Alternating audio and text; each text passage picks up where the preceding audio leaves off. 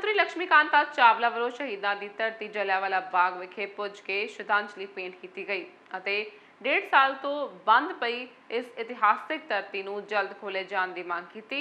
ਇਸ ਮੌਕੇ ਰਾਕੇਸ਼ ਸ਼ਰਮਾ ਵੀ ਮੌਜੂਦ ਸਨ। ਇਸੇ ਦਰਵਾਜ਼ੇ ਤੋਂ ਹਿੰਦੁਸਤਾਨ ਦਾ ਦੁਸ਼ਮਣ ਸਾਮਰਾਜ්ਯਵਾਦੀ ਦਾ ਪ੍ਰਤੀਨਿਧੀ ਡਾਇਰ ਫੌਜ ਨੂੰ ਲੈ ਕੇ ਤੋਪਾਂ ਲਗਾ ਕੇ ਹਿੰਦੁਸਤਾਨ ਦੇ ਸ਼ਹੀਦਾਂ ਨੂੰ ਗੋਲੀਆਂ ਨਾਲ ਭੁੰਨਣ ਗਿਆ ਦੇਸ਼ ਭਗਤਾਂ ਨੂੰ ਗੋਲੀਆਂ ਨਾਲ ਭੁੰਨਣ ਗਿਆ। ਉਹਨਾਂ ਦੀ ਯਾਦ ਵਿੱਚ ਹਰ ਸਾਲ 4 ਵਜੇ ਇਸ ਵੇਲੇ ਸਲਾਮੀ ਹੁੰਦੀ ਹੈ। ਮੈਨੂੰ ਜਿੰਨਾ ਯਾਦ ਹੈ, ਆਜ਼ਾਦੀ ਦੇ ਟਾਈਮ ਤੇ ਮੈਂ 5 ਸਾਲ ਦੀ ਸੀ। ਉਸ ਤੋਂ ਬਾਅਦ ਇੱਥੇ ਬਹੁਤ ਵੱਡਾ ਮੇਲਾ ਹੁੰਦਾ ਸੀ। ਅਮਾਵਸਿਆ ਕਦੀ ਹੋ ਜਾਣੀ ਕਦੀ ਵਿਸਾਖੀ ਹੈ।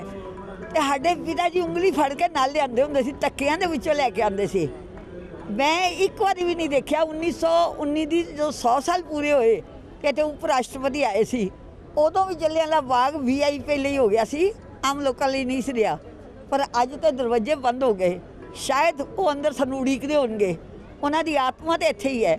ਮੇਰਾ ਇਹ ਮੰਨਣਾ ਹੈ ਕਿ ਜਲਿਆਂਵਾਲੇ ਬਾਗ ਦੀ ਜਿਹੜਾ ਇੱਕ ਘਾਸ ਦਾ ਕੰਨ ਵੀ ਹੈ, ਉਹਦੇ 'ਚ ਸ਼ਹੀਦਾਂ ਦਾ ਖੂਨ ਹੈ। ਜੇ ਆਪਣੇ ਬਜ਼ੁਰਗਾਂ ਦਾ ਸ਼ਰਾਧ ਨਹੀਂ ਕਰਦੇ ਤੇ ਉਹਨਾਂ ਨੂੰ ਕਿੰਨਾ ਖਰਾਬ ਲੱਗਦਾ ਇਹ ਸਾਡੇ ਸ਼ਹੀਦਾਂ ਦਾ ਸ਼ਰਧਾਂਜਲੀ ਦਿਵਸ ਹੈ। ਅੱਜ ਰੋਣਾ ਆਉਂਦਾ ਕਿ ਅਸੀਂ ਅੰਦਰ ਜਾ ਕੇ ਆਪਣੇ ਸਮਾਰਕ ਤੇ ਦੋ ਫੁੱਲੀ ਨਹੀਂ ਚੜਾ ਸਕਦੇ। ਅਸੀਂ ਪ੍ਰਣਾਮ ਕਰਦੇ ਆਪਣੇ ਸ਼ਹੀਦਾਂ ਨੂੰ। ਔਰ ਖਿਮਾ ਮੰਗਦੇ ਹਾਂ ਉਹਨਾਂ ਵਾਸਤੇ ਜਿਨ੍ਹਾਂ ਦੇ ਕਾਰਨ ਅਜੇ ਦਰਵਾਜ਼ੇ ਬੰਦ ਹੈਗੇ ਹੈ